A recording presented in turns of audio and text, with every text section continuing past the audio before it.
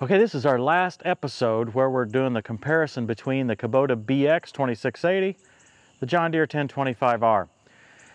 We're going to compare a few more features that we've kind of missed in some other episodes, and then we're going to talk about just either some of our opinions or just some of the thoughts we've had as we've gone through this series. And I think Christy will join me for that part, and we'll be able to discuss that a little bit further. So stick around for that. I want to talk a little bit about the gauges, uh, specifically the fuel gauge. On the John Deere, it's right down here directly into the fuel tank. Clearly a very cost-effective approach. They can just put it right in the tank. No wiring, no extension, nothing necessary. And that makes it not quite as easy to deal with. It has got a little bit more accurate over the years. Uh, they have spaced the, the gauges so that you can tell a little bit more accurately what's left in the tank but it's not as nice a gauge as what you will see on the BX. The BX has the fuel gauge up in the dash where it would naturally seem like it ought to be. There was some discussion, either in comments or maybe in some private discussion I was having, uh, a BX owner felt like that the Deere did not have a backlit display. Uh, my 2018 does indeed have a backlit display, uh, backlit very similarly to the BX, such that when you turn the lights on, the backlighting dims a little bit. Uh, so it seems very similar there. On the BX, all the U-joints under the tractor are sealed. There are no grease fittings that I could find uh, that need to be greased on a regular basis, or I couldn't find any at all except for on the mower deck and where you would expect there. Contrast that with the Deere. There are six grease fittings that have to be greased. Yep, that's me, greased we don't grease here, we grease. That's the way I've always done it. But one of those fittings especially is very difficult to get to. Uh, I've got video showing all six of those fittings, uh, showing how to grease or grease them. And go take a look at that, you'll see what that's like, but it's definitely more complex than the maintenance on the BX for the corresponding items because they're sealed bearings.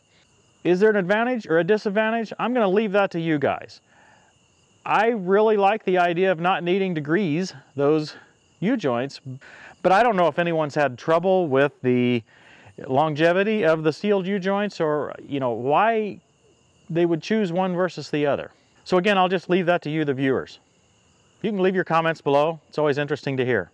Now there's some interesting differences in how the engine is laid out. It's really reverse in the BX to what it is in the Deere.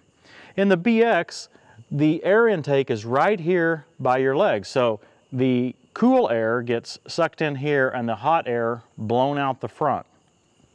On the Deere, it's like a traditional tractor where the cool air is taken in the front of the unit and the fan disperses the air behind and a lot of that goes on the user. At least in theory, you should stay cooler on this tractor because a lot of that hot air gets dispersed. Another potential advantage to this is when you're running a bush hog or in any other condition that you might have a real heavy grass with um, seeds and, and bush or whatever you might have, it, it covers over the 1025R uh, screen on the front. Now that might happen here. I've seen several BX commenters that have said it does indeed happen uh, on the BX as well. I don't really know. Uh, so again, I got to leave that to you, the commenters and viewers, to let me know and, and let our fellow viewers know whether you prefer this reversed airflow or whether you prefer the traditional airflow. But it is a difference. Both of these units have extremely reliable engines. The Kubota engine is manufactured by Kubota and has been around a long time and has proven to be extremely reliable. The Deere engine is very similar. It's manufactured by Yanmar. Again, the Yanmar engine's unquestionably very reliable. I guess I have to leave this up to you. A lot of the Kubota fans uh, make such a big deal about the engine being manufactured by the same company that builds the tractor.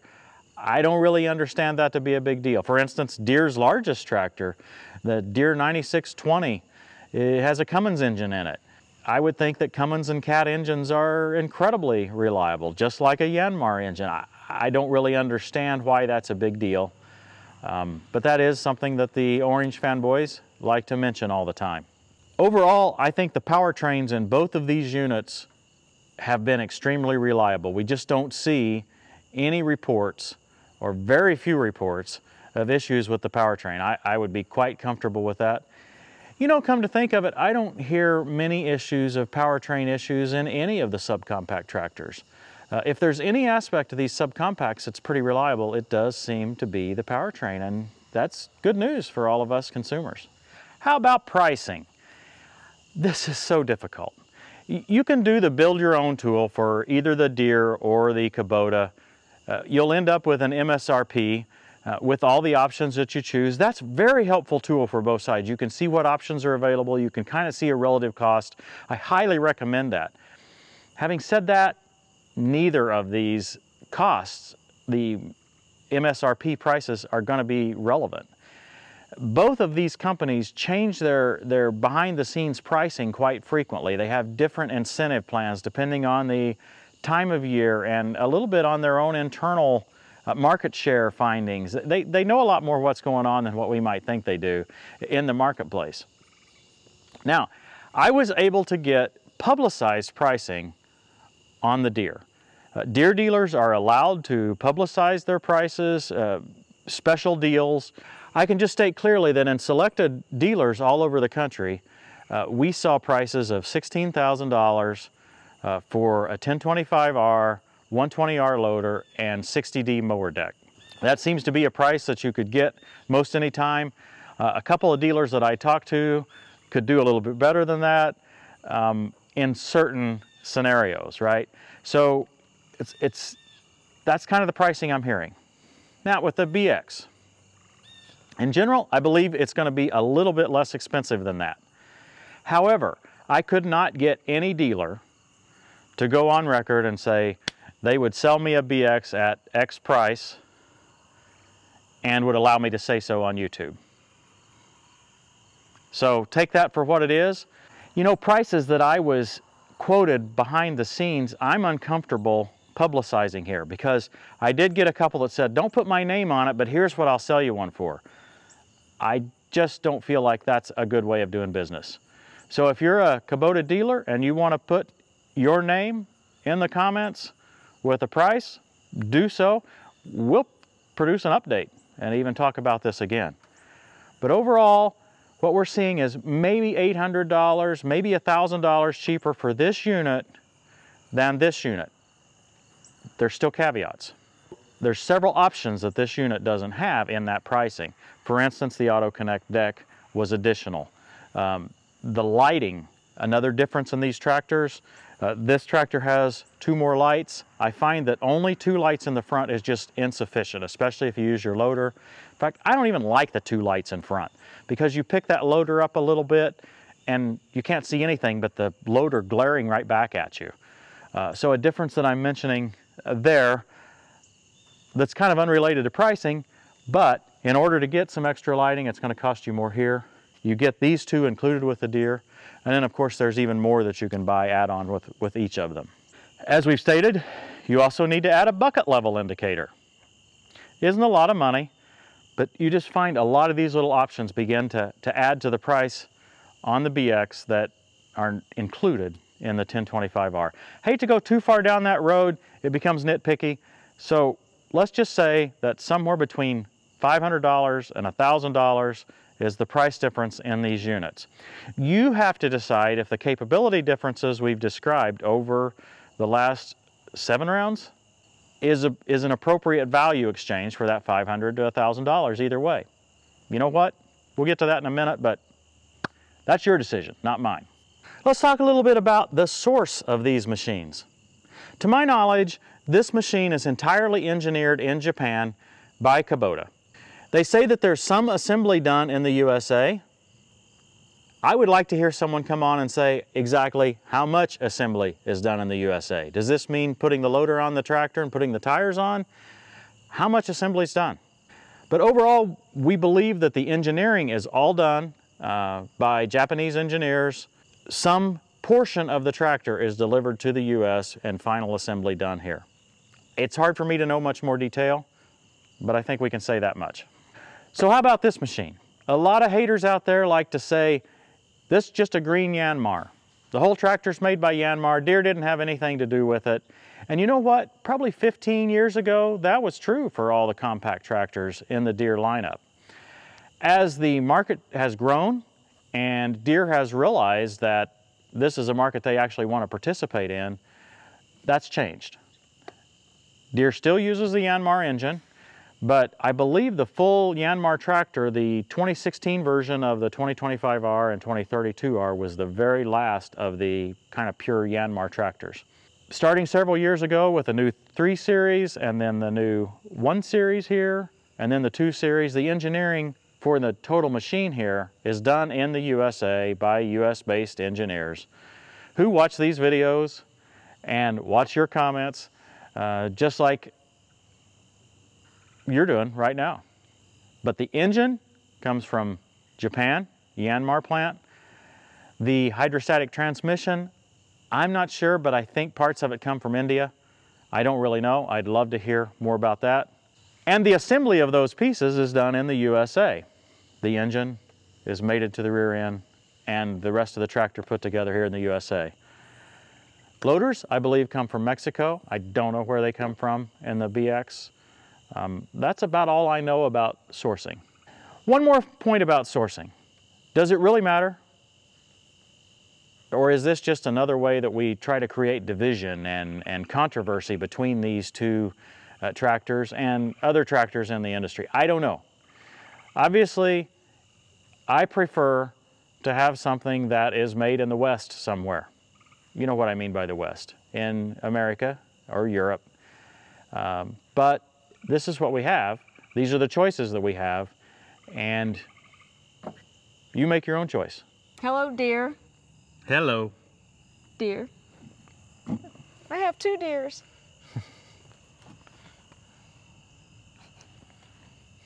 this has been a long and winding road for us. It has. Um, over the, the duration of this, there's been some kind of general questions that have come up, and uh, we've tried to jot some of those questions down more about our motivation and just kind of what's going on behind the scenes here a little bit, why, we, why we're doing things. So, Christy, let's get started on this. Yeah, I guess one of the first major questions that people have asked us is why did you choose the Kubota and the John Deere and just focus on these two when there's quite a few other subcompacts on the market? Yeah, that's a really good point. Um, and we touched on this in the first episode. These are the two biggest sellers, right? Uh, a very large portion of the market uh, is held by these two units, the BX and the 1025R.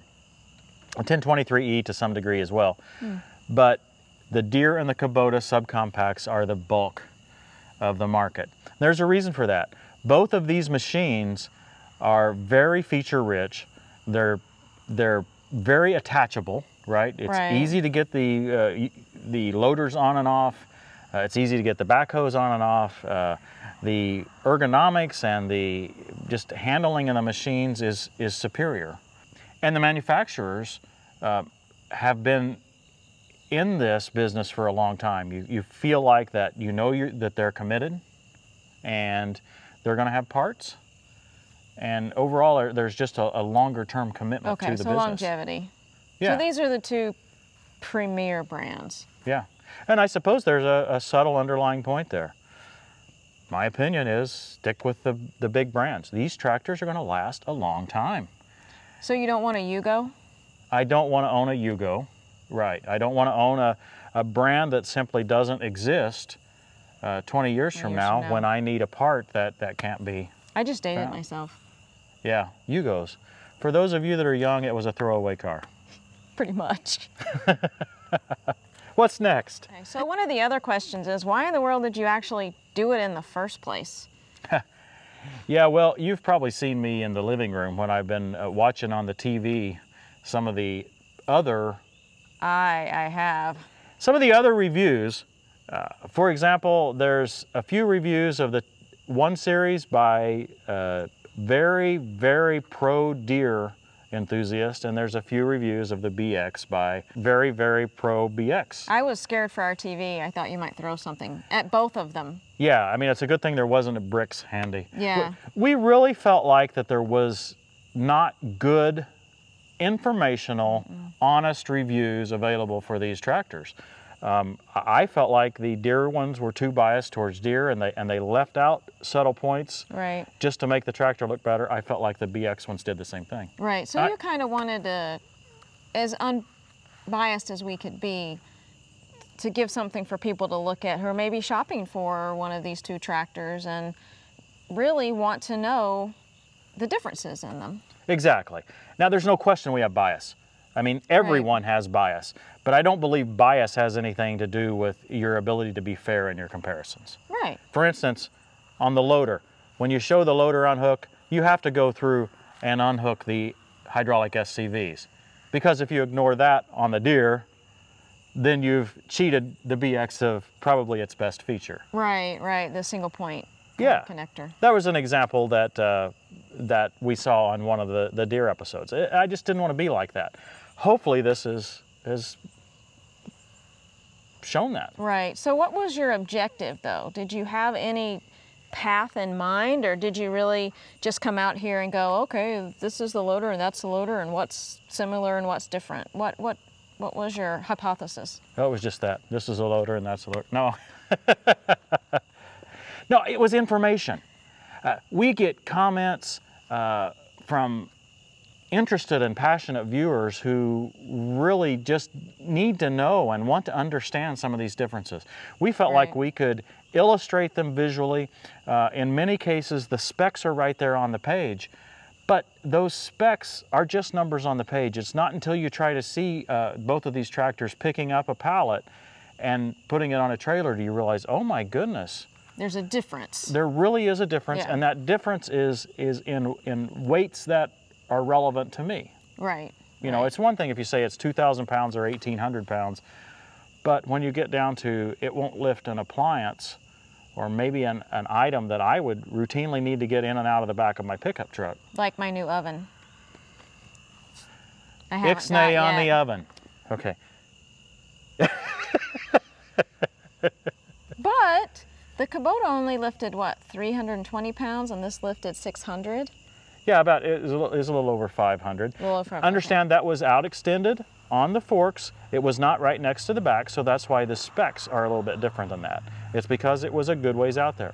Again, go back and check out that round. I believe it was round three or four. I don't remember. I just think either one of them will pick up my new oven. There you go. If the commenters, if you think I should get a new oven, let me know. I wish I was the editor because I'd chop that out. No, no, no, no, no. What's the next question? What did you consider to be a successful outcome? Okay, that's a good one because a lot of folks would say, oh, you're so biased, you just wanted people to buy the Deere. No, that really is not it. If after watching our videos you say, you know what, I recognize that the BX loader has some limitations. I recognize that you know it may not be able to lift quite as much, but I really love my Kubota dealer. It's closer, all these items, and the 500 to $1,000 cheaper that it is, is worthwhile to me. Or maybe it's more than a 500 to $1,000 for you. Right. But at the end of this, if you said, I recognize the difference in capabilities, but the BX is still the best tractor for me, great. Enjoy it. Right, You're gonna love it. Another successful outcome. Let's say it's a similar situation. You really love your Kubota dealer, um, but you see that, gee, this guy may not have quite enough capability. And you've decided to upgrade to the B series, maybe the 2601 or maybe the B2650. And you've said, I really need that extra size to be able to lift what I need to lift. That's an incredibly successful outcome. Right. You've got the information at your fingertips now to really make a wise choice. Yeah. And it, likewise, if you say, well, now at least I understand why there's a 500 or a $1,000 difference, it's not simply green paint over here, that's a successful outcome as well. Look, it doesn't really matter to me, No. but I just want information out there for the viewers. That's what we're here for. Right. That's What- what, we didn't find when we were looking for a tractor. Because Right. you looked at a lot of different tractors before we bought. Yeah. It was really hard, ago. really hard. Okay, Yeah. what's next? Let's see. Are you going to do any more detailed comparisons? You know, when we started this, We're tired. yeah, when we started this, it was a lot of fun for a while. Um, during the first couple of weeks of this, when we were discovering some of these differences, some of them were real surprises to us. Uh, the three-point hitch being so powerful on the BX as compared to the Deere, they're rated, I think, one pound differently. I think that's and, what we and found. seeing that much difference was amazing. The next week or a couple weeks later, we saw that the BX did not turn nearly as short as the John Deere. They're only rated one tenth of a foot difference. Well, I don't know if they measure it differently or what, but you can see from our episode that the BX doesn't turn nearly as short. That was a surprise to us. Right. Anytime we saw these surprises, it was a lot of fun. Now, it got to where it wasn't fun at all when we just had to deal with so many hater comments Yeah. and that that really began to wear on me and it made it very stressful. I, I had to measure my words and my tone at every turn. Uh, i don't want to be unfair.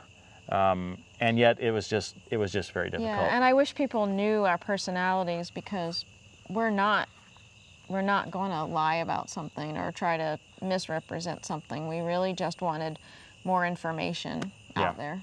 so we probably won't do any more direct comparisons in the near term um, who knows what the future holds we may end up being the consumer reports of tractors and do comparisons every single week but for right now we're going to take a break from that That kind of leads us to something else because so many hater comments were, "Oh, you're just very biased towards the Deere." So, from this, are you just trying to say that Deere is better? No, and you know, I think broadly, is Deere better than Kubota or is Kubota better than Deere? Not at all. We're making a conclusion about the capabilities of these two particular tractors, right? Right, just a BX and a 1025R. Right, right. And uh, fo- some folks have said, well, you shouldn't have chosen the BX, you should have chosen a B. Okay. Many people in the world want to know how these two compare because they view them as similar tractors. Right. Whether that's the direct comparison or not in your mind, uh, okay, that may have proven that we, you know, back to successful point number one, if you realize that this is not as capable as the 1025R, then it was successful. But no, we cannot make any extrapolations about one company over another based on two tractors. You know, there's some features of uh, the larger tractors in the Kubota line that I really, really like. So even though personally I think the 1025R is a superior machine to this, okay, I said it, the features of some of the larger tractors like the HST transmission and the Grand L series, that's pretty good, pretty It good is, stuff. yeah, yeah. We looked at some at the last farm show we went to. Yeah. It was pretty nice. Pretty nice. I guess the last questions are, are there any more tests that you're gonna do? Um, I think we're done. Uh, I did a little bit of testing where I hooked both of these units to the Johnny 5 and I have a load center. Uh, uh, essentially, it'll measure weight, measure how hard we're pulling. Those tests turned out to be essentially identical. Um, so I don't really see any point in publishing that. It was, both tractors were identical. What I did in that test, just to provide you a little more information, I put enough weight on the front of both of the machines and on a heavy hitch on the back such that there was no way they would spin their wheels. Okay. Okay, kind of artificially saying, look, I want this thing not to spin at all, and I want to see how much the transmission will allow it to pull. It was identical. So we're going to kind of skip showing that because I think everyone is tired of the comparisons at this point. Yeah. How about the curl test? You mentioned that one time, but we didn't do it. Just I- decided to skip that one too. I did. I think it just kind of ran out of steam.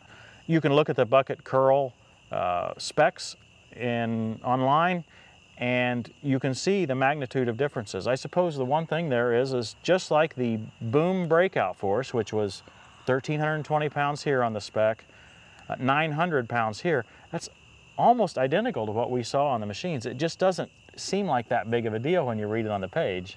right. Right.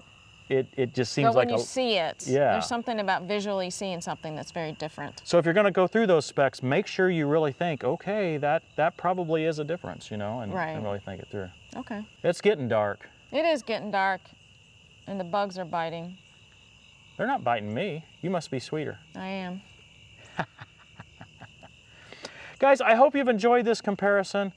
I really don't know what else to say. We've done our best, much less than perfect, I'm sure.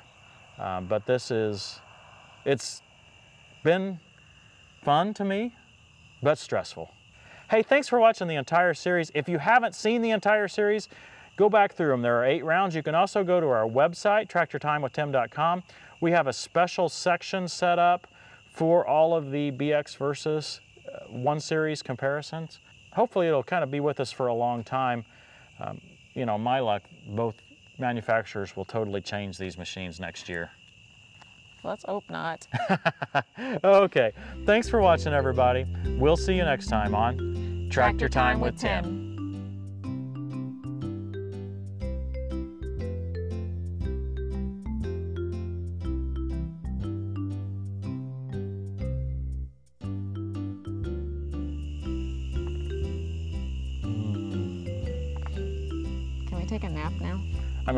viewers already took a nap.